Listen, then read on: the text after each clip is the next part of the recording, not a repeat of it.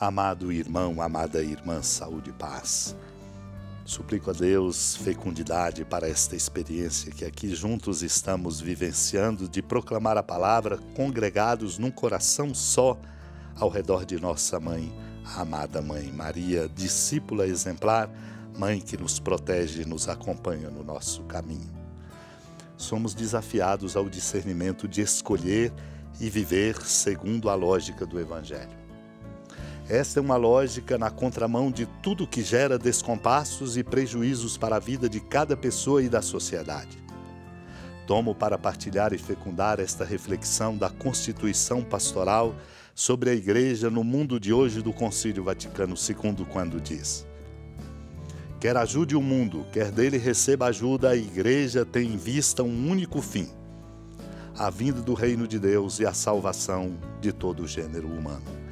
Na verdade, todo o bem que o povo de Deus, no tempo da sua peregrinação sobre a terra, pode prestar à família humana deriva do fato de que a Igreja é o sacramento universal da salvação, manifestando e ao mesmo tempo realizando o mistério do amor de Deus para com os homens.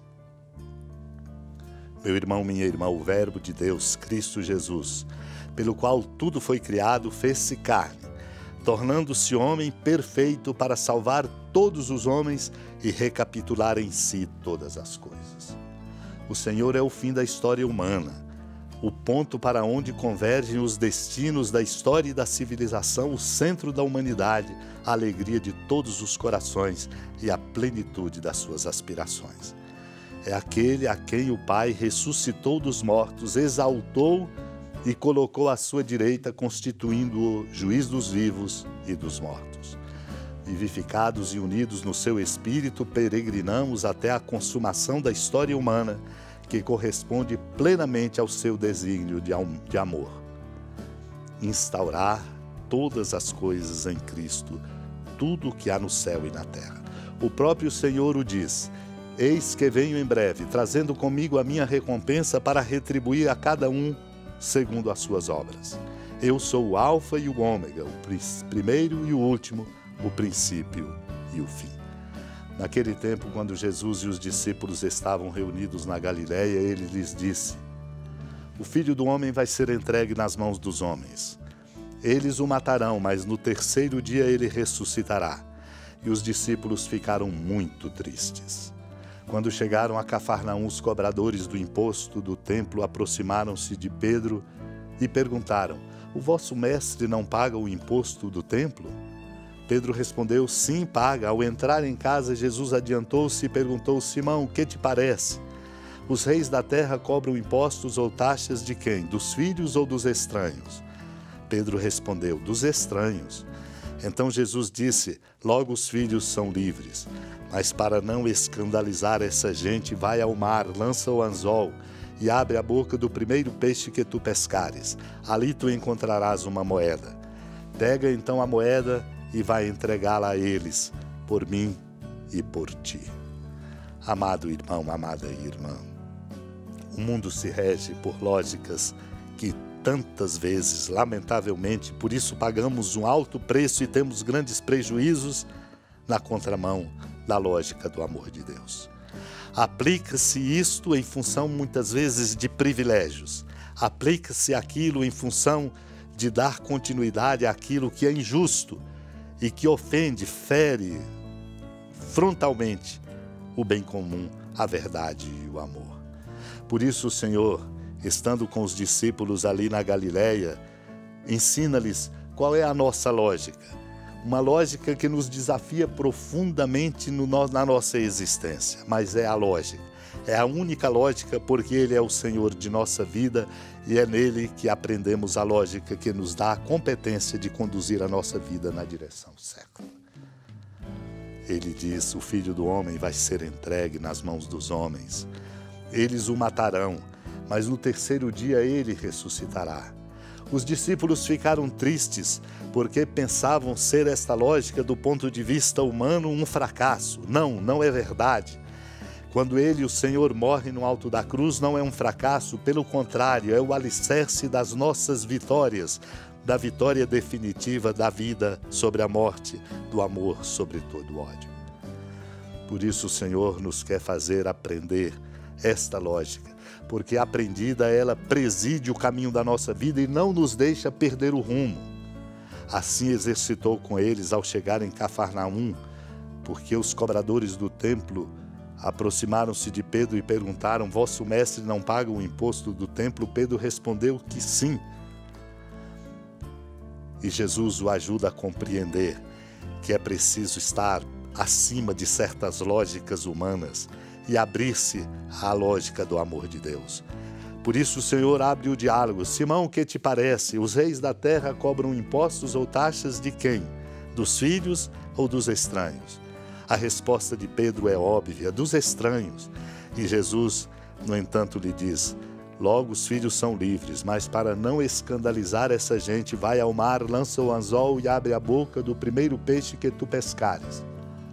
Ali encontrarás uma moeda. Pega então a moeda e vai entregá-la a eles por mim e por ti. Meu irmão, minha irmã, não tenhamos medo de nos oferecer segundo a lógica do Evangelho. Ao contrário, imitemos nosso Salvador e a vitória nos estará garantida, como reflete no tratado sobre a encarnação do Senhor Teodoreto de Ciro, quando diz: com liberdade, vai Jesus ao encontro dos sofrimentos preditos a seu respeito. Por várias vezes os prenunciou aos discípulos, tendo mesmo repreendido a Pedro, que repelia o anúncio da paixão e declarou que por ele se daria a salvação do mundo. Por isso, apresentou-se aos que vinham buscá-lo, dizendo: Sou eu a quem procurais.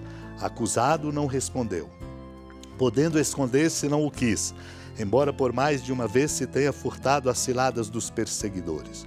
Chora sobre Jerusalém, que pela incredulidade atraía para si a ruína e prediz a suprema destruição do templo tão famoso. É Ele, é Ele a nossa lógica. Por isso é a Ele que seguimos. Seja esse o nosso caminho. Supliquemos a Deus a graça desta percepção e, sobretudo, a decisão de continuarmos, apesar de nossos limites e fraquezas, nesta direção. Supliquemos.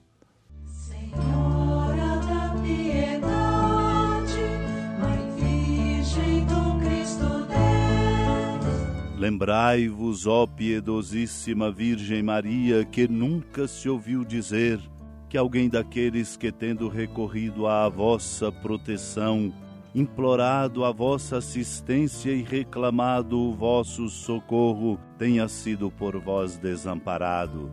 Animado com igual confiança, vós recorro, ó Virgem das Virgens, e gemendo sob o peso dos meus pecados, me prostro a vossos pés. Não desprezeis as minhas súplicas, ó Mãe do Verbo encarnado, mas dignai-vos de as ouvir propícia e de me alcançar o que vos peço. Amém. Feliz padroeira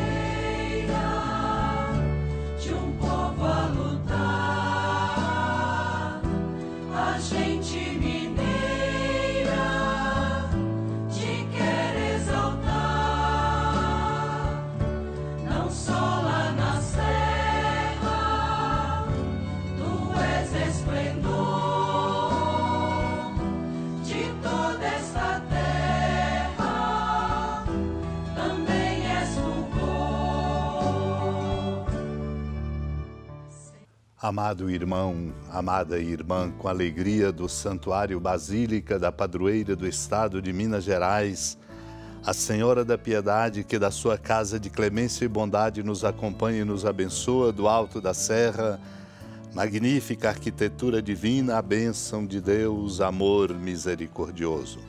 Pai, Filho e Espírito Santo, desça sobre sua família, proteja sua casa, sustente sua vida, fecunde o caminho missionário de nossa igreja, nos encha de sabedoria e permaneça conosco para sempre. Amém. Feliz padroeira